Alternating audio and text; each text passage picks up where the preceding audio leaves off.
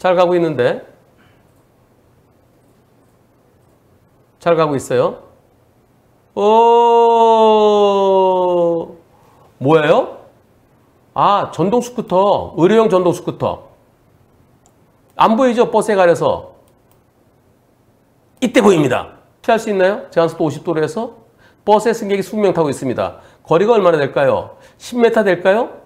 여기서 무단횡단하네요. 와, 저, 저 넘어지면서 뒷바퀴 깔렸으면, 와, 끔찍합니다. 예. 의료용 전동 스쿠터가 저렇게 보이지 않는 곳에서 빨간불에 무단횡단했습니다. 블박차 잘못 있나요? 전동 휠체어가 아니고요. 전동 휠체어는 이렇게 의자예요, 의자. 이렇게 핸들, 핸들이 있는 건 전동 스쿠터입니다. 핸들인데요. 예, 이건, 이건 의료용 전동 스쿠터예요. 제가 볼 때는 10여 미터 되나 싶었는데요. 5, 7, 한 5, 내 7m에서 나왔다 그러시나요? 여기에서 지나가고, 예, 한 5 내지 한 10m나 치자고요. 버스 한 15톤 정도 되잖아요. 거기에 20명 타고 있어 급제동하면 승객도 전부 다 우앙! 그래 급제동에도 못 피하죠. 저 버스가 저 앞에 지나간 버스 없었으면 괜찮을 텐데 버스 지나고 한 5m, 7m 아 전동 스쿠터가 갑자기 나왔습니다. 아 저거 저거 도저히 못 피할 상, 상황인데요. 그런데 경찰은 아 피할 수 있었을 것이다.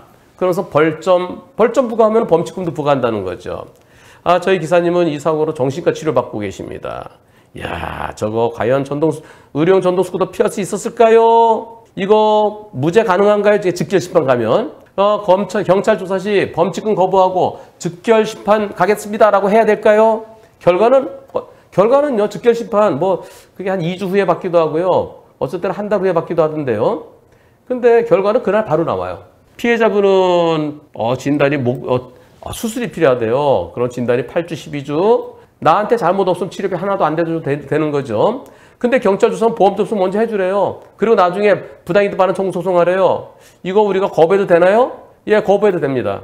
거부하면 경찰에서 운전자 잘못이 있다라고 교통사고 사실 확인을 발급해주면 그걸로 직접 청구권 행사하면 보험사가 가불금 형태로 치료를 일단은 해주는 거죠. 일단 해주고 나중에 어떻게 할까요? 즉결 심판에서 무죄 받으면은 어 치료비 다 돌려달라고 그래야 돼요. 수술하면 치료비가 천만 원, 이천만 원 그 이상 될 수도 있는데 다 토해내야 돼요. 자, 오히려 외상 스트레스 장애로 병원 치료받고 계신데 역으로 보상금 청구 소송하는 것도 방법일까요? 아, 이거는요. 산재로 산재로 치료받으세요. 산재. 굳이 저, 저 상대를 할 필요 없어요. 그 소송 절차 저거 변호사 선임하면은 배보다 배꼽이 더 커지고요. 본인이 소송하려면 스트레스 엄청 받아요. 그냥 산재로 처리하세요. 자, 그렇다면 버스에 잘못이 있습니까? 없습니까? 거의 한쪽으로 가는데요. 100%가 버스에 잘못 없다. 저걸 어떻게 피해요? 아니, 차들이 오는데 여기로 왜 들어온대요? 왜, 왜, 왜? 버스에게 잘못 0.00001%도 없어야 되겠습니다. 그리고 이분은요, 버스 보험으로 치료받으면 나중에 치료비 다 토해내야 될 수 있어요. 건강보험으로 치료받으십시오. 즉결 심판에서 꼭 무죄 판결 소식을 전해주시기 바랍니다. 그 전에 조사관, 조사관께서 야, 이거 도저히 안 되네. 정지거리가 도저히 안 되네. 버스가 50으로 가고 있었는지 40으로 가고 있었는지 모르지만 30으로 가도 못 피하죠. 이거요. 버스에게 잘못 전혀 없습니다. 그 외상 스트레스 증후군 이 트라우마 엄청 심하죠. 오죽하면 정신과 치료까지 받고 있겠습니까? 자칫 잘못했으면 사망할 수도 있었죠. 그런데 경찰은 지금 불박차에게 어, 범칙금 부과하고 벌점 부과하겠다고 지금 한다는 거예요. 예, 이분 말씀에 의하면 경찰이 그렇게 처분하면은 직결 심판 가야 되죠. 만약에 사망했으면은 검찰로 넘겨주고 검사가 무혐의냐 기소냐 또 이제 판단이 되죠. 또 검사도 만약 기소한다고 법원에 가서 무죄 판단, 무죄 판결 받아야 되겠죠. 그럼 무죄 험난해집니다. 그럴 때 나 혼자 나 혼자서 대처하기 힘들죠. 그럴 때 필요한 게 바로 운전자 보험입니다. 운전자 보험. 내가 잘못이 있으면은 내가 형사비금을 도와주죠. 요즘 거는 2억 원까지 됩니다. 그리고 내가 억울할 때 나를 위해 싸워줄 수 있는 사람. 그게 변호사죠. 근데 변호사를 꼭 법원 단계에서만 변호사비를 지원해 주더라고요. 만약에 지금 저 사망했다. 지금 이제 뭐 목, 이런 저 다치기만 해 수술이 필요하지만 만약에 사망했다 그러면 그리고 경찰이 당신 잘못 있어.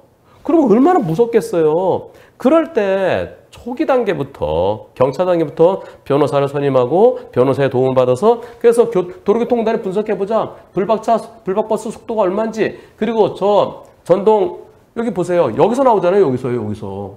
여기서 나오니까 여기 나온 지 얼마나 되겠어요? 예. 저 나올 때 나랑 거리가 얼마냐? 내 차랑 거리가 얼마냐? 이 불박차 화각이 전방이 약간 화각이 좁아 보이지만 그러나 지금 여기서 막 톡 튀어나오잖아요. 그러면 요보다 조금 전이라 해봤자 언제겠습니까? 예, 요보다 조금 더 전에 지금 아직 안 나오죠. 버스가 지나가니까 버스 지나가면서 나오잖아요. 한 10여 미터밖에 안 되잖아요. 그런 버스가 과연 저때 발견하고 바로 멈추면 멈출 수 있겠느냐? 그걸 분석해야 됩니다. 그래서 여러분들 운전자 보험 제대로 된 걸 가입해야 되는데요. 제대로 된 게 아직까지 없어요. 아 그거 하나만 나오면 진짜 대박일 텐데 그죠? 아 초기 단계부터 억울한 운전자를 위해서 운전자를 위한 제대로 된 운전자 보험 억울한 운전자에게 경 사고 초기부터 변호사 선임비를 지원해주고 그리고 아 내 잘못을 인정한다. 그럴 때는 형사비금을 지원해주고 그래야 그게 운전자를 위한 운전자 보험이죠. 이번 사고는 설령 사망했다 하더라도 무혐의 무죄가 옳습니다. 왜? 불박차 운전자로서는 도저히 방법이 없었기 때문이에요.